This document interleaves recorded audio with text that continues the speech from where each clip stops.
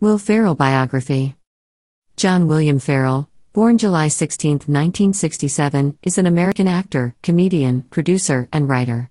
He first established himself in the mid 1990s as a cast member on the NBC sketch comedy show Saturday Night Live, and has subsequently starred in comedy films such as Elf, Kicking and Screaming, Talladega Nights, The Ballad of Ricky Bobby, Semi Pro, and Land of the Lost.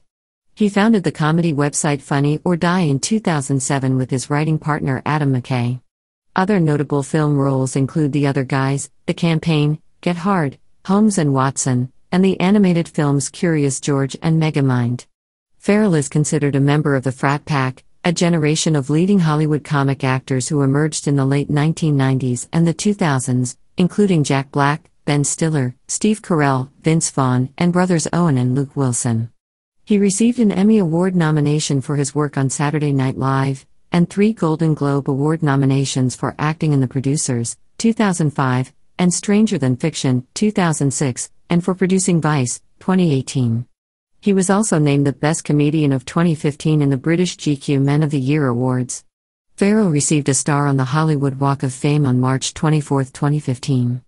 Early life Ferrell was born on July 16, 1967, in Irvine, California, to Betty Kay née Overman, born 1940, a teacher who taught at Old Mill School Elementary School and Santa Ana College, and Roy Lee Ferrell Jr., born 1941, who played saxophone and keyboards for the Righteous Brothers.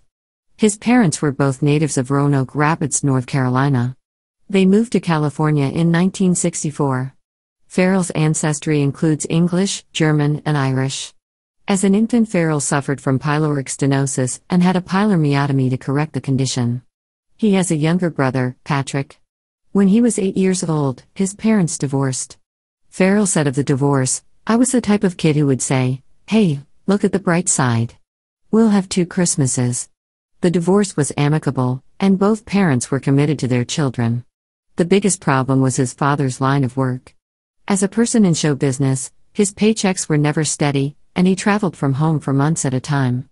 Growing up in this environment made Ferrell not want to go into show business and instead have a steady job. Will first attended school at Culverdale Elementary and later attended Rancho San Joaquin Middle School, both in Irvine. He attended University High School in Irvine and was a kicker for the school's varsity football team. He was also on the soccer team and captain of the basketball team, as well as serving on the student council. Ferrell called third grade a pivotal year. He realized he could make his classmates laugh if he pretended to smash his head against the wall or if he tripped and fell on purpose, and said it was a great way to make friends. He said the dullness of Irvine contributed to the growth of his humor. Growing up in suburbia, in safe, master planned Irvine, there was no drama, so we had to create it in our heads. My main form of entertainment was cracking my friends up and exploring new ways of being funny.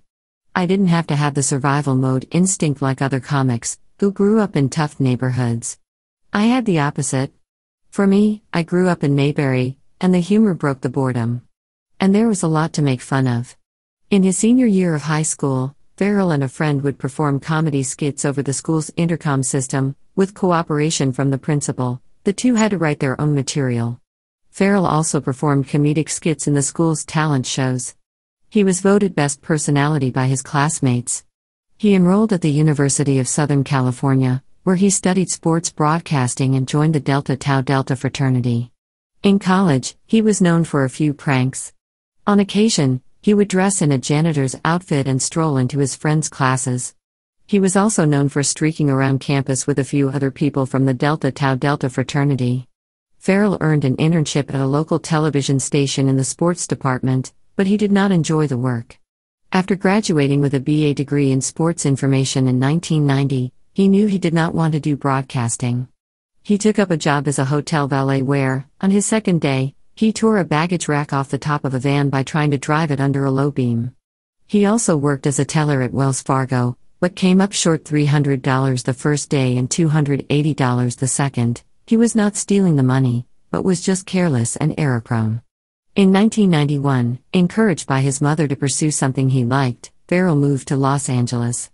He successfully auditioned for the comedy group The Groundlings, where he spent time developing his improvisation skills. Career The Groundlings Before joining The Groundlings, Ferrell's attempts at stand up comedy had little success. He started in the advanced classes and grew to love improvisation. He realized he also liked to impersonate people, and one of his favorites was Harry Caray, the Hall of Fame baseball announcer. Soon he began to create original characters. With fellow Groundlings member Chris Kattan, they created the Butabi brothers, who go out to dance clubs to try to pick up women but are constantly rejected. While taking classes, Ferrell got a job at an auction house via his friend Viveca Paulin. The job was ideal as it was flexible enough for him to audition and go to rehearsals while also being employed. He received small roles, including TV series Grace Under Fire and Living Single, low budget films such as A Bucket of Blood, as well as commercials. One winter, he served as a mall Santa Claus. Then, in 1994, he won a spot with the top professional group of the Groundlings. Saturday Night Live. After SNL's decline in popularity in 1994 to 1995, and in need of new cast members for the next season, a producer saw the Groundlings and asked Ferrell, Kattan, and Cheri Oteri to audition for SNL's main producer, Lorne Michaels. Ferrell joined Saturday Night Live in 1995 and left in 2002 after a seven year tenure. He has hosted the show five times, thereby becoming a member of the show's Five Timers Club. During his time on SNL, Ferrell made a name for himself with his impersonations, which included U.S. President George W. Bush, Chicago Cubs announcer Harry Caray, singer Robert Goulet, crooning a cappella pieces of music by Sisqó, Baha Men, and the notorious B.I.G., singer Neil Diamond, inside the actor's studio host James Lipton, who favored Ferrell's impersonation, Massachusetts Senator Ted Kennedy, United States Attorney General Janet Reno, convicted Unabomber Ted Kaczynski, game show host Alex Trebek, fictitious private detective John Shaft, professional wrestler Jesse Ventura, U.S. Vice President Al Gore, Iraqi President Saddam Hussein, and Cuban President Fidel Castro. His original characters included Morning Latte co host Tom Wilkins, Mr. Ed the Horse's twin brother Ned, fictional Blue Oyster Cult member Gene Frankel, physically modeled after the band's vocalist Eric Bloom, music teacher Marty Culp, cheerleader Craig Buchanan, Dale Sturdivant from Dissing Your Dog, Hank of the Bill Brasky Buddies, David Leary from Dog Show, and Nightclubber Steve. Butabi in sketches that were turned into a feature film in 1998's A Night at the Roxbury. Ferrell became the highest paid cast member of Saturday Night Live in 2001 with a season salary of $350,000.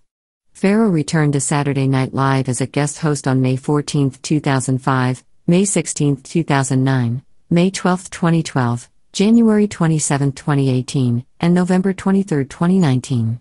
For the first two hosting appearances, he reprised his role as Alex Trebek in the Celebrity Jeopardy sketches. On the May 14th appearance, Ferrell reprised his role as Robert Goulet in a fake commercial advertising a series of ringtones and, during the performance of the song Little Sister by musical guest Queens of the Stone Age, Ferrell came on stage playing the cowbell.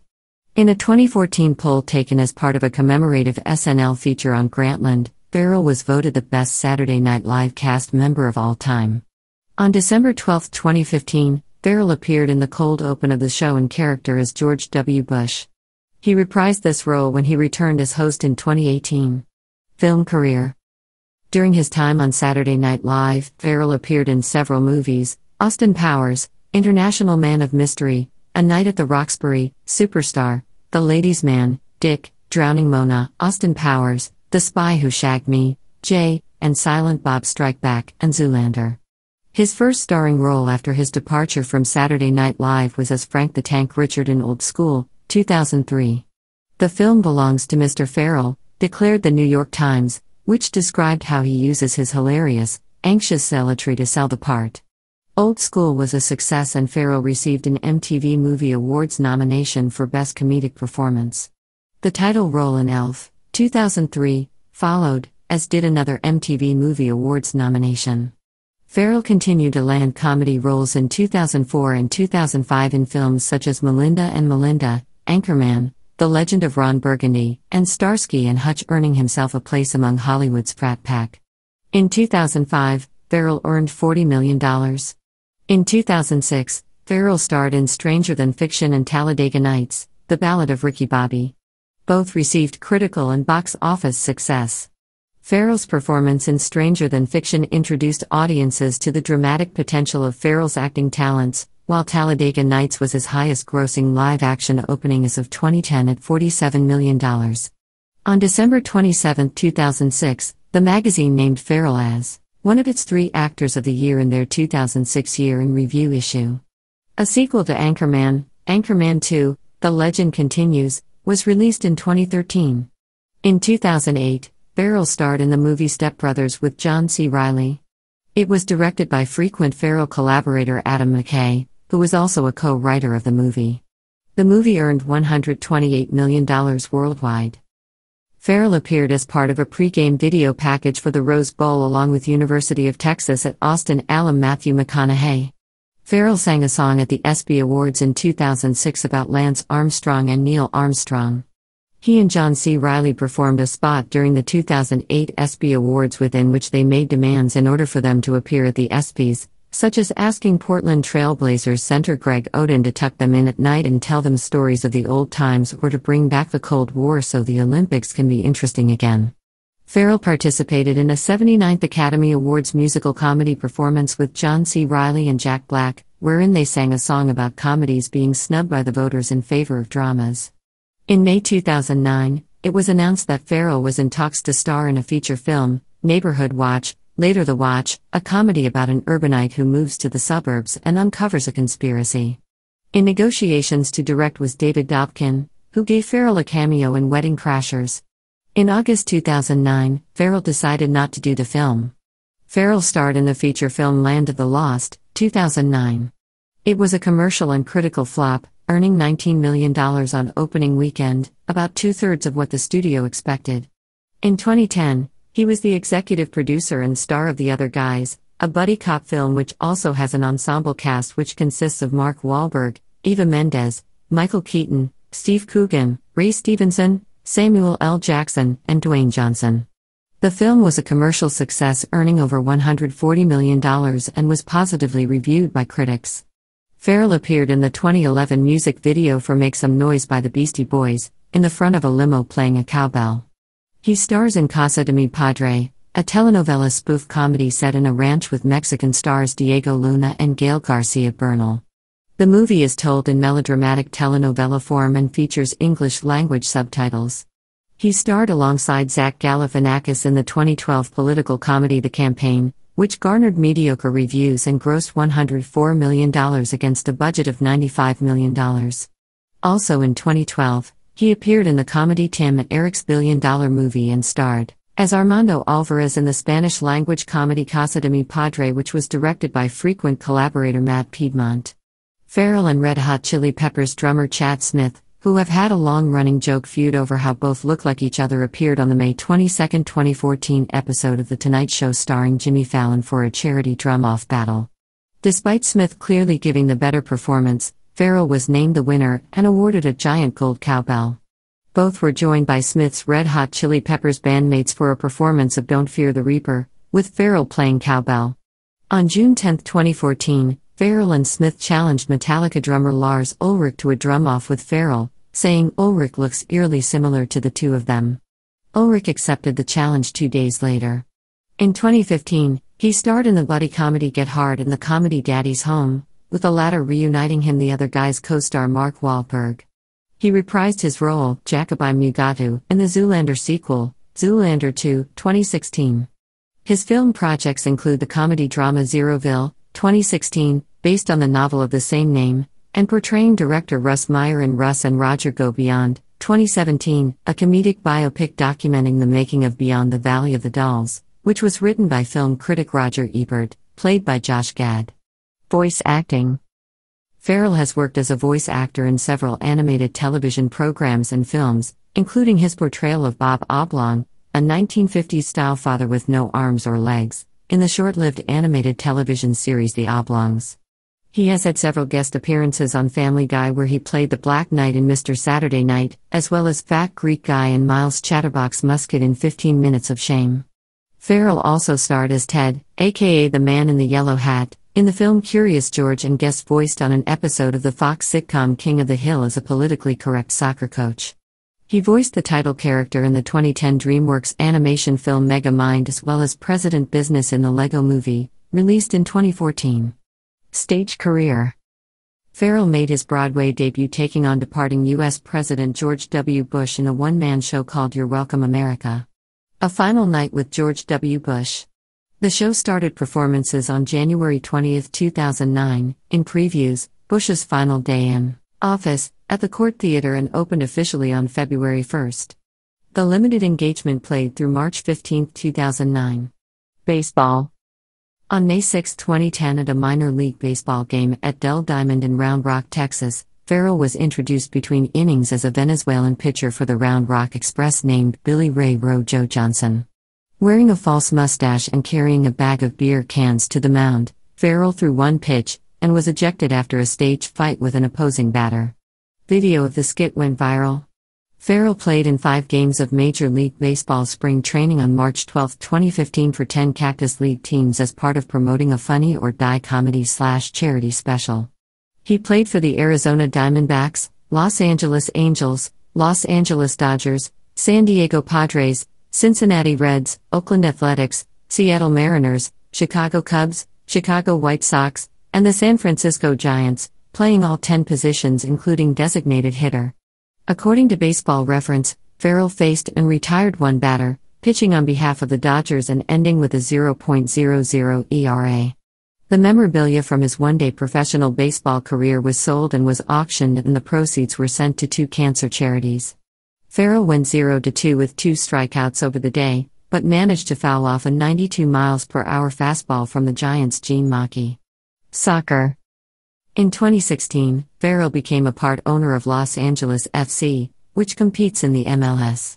When asked about why he became a co owner, Ferrell said, I don't really have a side per se until LAF gets started, and that will definitely be, obviously, my team. But I just enough watching the fact that it's played all over the world. So many amazing players and so many top flight leagues. And hopefully, MLS can be on par, eventually, with the European leagues. Creating and producing. Funny or Die. In April 2007, Ferrell and Adam McKay launched Funny or Die, a streaming video website where short comedy films are uploaded and voted on by users.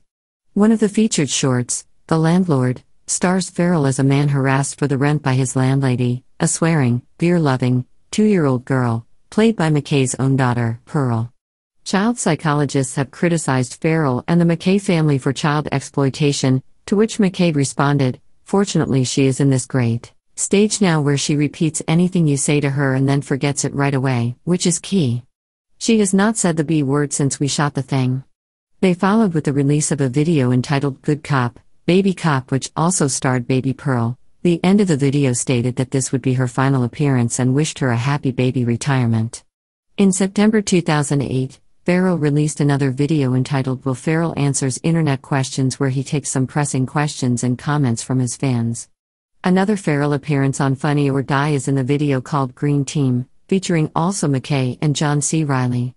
It shows militant ecologic activists terrorizing the crew on a filming set. Eastbound and Down. Ferrell co produced, with Adam McKay, an HBO show starring Danny McBride called Eastbound and Down. He also had a recurring role as car dealer Ashley Schaefer. The Chris Gethard Show. Ferrell was one of the executive producers of The Chris Gethard Show, which aired on Fusion from 2015 to 2016 and on truTV from 2017 to 2018. Personal life. In August 2000, Ferrell married Swedish actress Viveca Paulin, whom he met in 1995 at an acting class. They live in New York City and also Orange County, California, and have three sons Magnus Paulin Ferrell, born March 7, 2004, Matthias Paulin Ferrell, born December 30, 2006, and Axel Paulin Ferrell, born January 23, 2010. At USC, Ferrell was a member of Delta Tau Delta fraternity and is now an active alumnus. Ferrell has worked with former head coach Pete Carroll to do motivational stunts for the players during the season. Ferrell has participated in marathons including the Boston, New York, and the Stockholm marathons. He also raises money for charity, including his Scholarships for Cancer Survivors campaign through a micro donations fundraising platform.